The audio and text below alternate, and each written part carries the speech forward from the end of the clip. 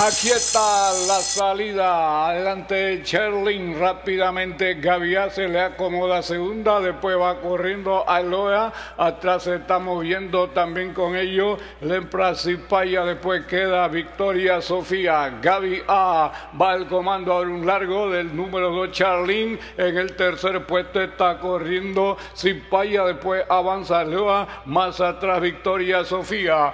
Van entrando a los 750. Gavia en el comando un cuerpo claro de Charlin. En el tercero Cipaya. Después Aloha. Más atrás corre Victoria Sofía. Entra en los 525 Gavia. Dos cuerpos en la buena. En el segundo Ailoa. Charlin repite. Afuera va corriendo Victoria Sofía. Última Cipaya. Entramos a la recta final con el 5 Gavia en el comando. En el segundo está Charlin. En el tercer puesto trata de avanzar adentro el Victoria Sofía. 200 metros adelante Gavia. En el segundo puesto Charlin. Adentro Victoria Sofía trata de avanzar en el riel. En el comando Gavia cómodamente. Gaby a la victoriosa. Segunda Charlin. Tercera Victoria Sofía. Después Ailoa. Y en el último lugar Cipaya.